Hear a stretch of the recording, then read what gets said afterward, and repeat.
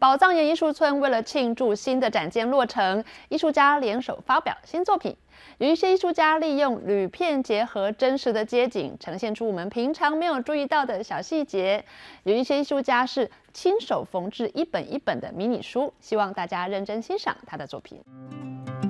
一张一张铝片转印墙壁纹路的相片，再结合各种迷你雕刻品，呈现出巷弄间的小角落。这是艺术家朱淑婉的作品。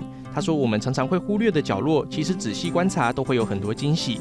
像这个，它叫闻一朵花开，它这边其实也是有个人的脸，对，就是眼睛，然后鼻子、嘴巴这样子，然后刚好花的位置刚好在他鼻子的位置。”除了用金属结合照片的作品，艺术家蔡梦如则是用粘土雕出逼真的蛋糕甜点。每个礼拜还会开课教学。就是像穿围巾一样的去穿，对，它这是一个比较新潮一个穿法啦。艺术家吕雪芬则是把银饰结合植物，就像是把绿叶带在身上一样。这些都是宝藏岩艺术村的驻村艺术家，为了庆祝宝藏岩的五十二号房间整修完毕，改装成展场，一起发表他们的作品。艺术家林心怡来这边驻村已经第三年了。喜欢阅读的她，打造出超迷你的小本书，从书封到内页都是自己独立完成。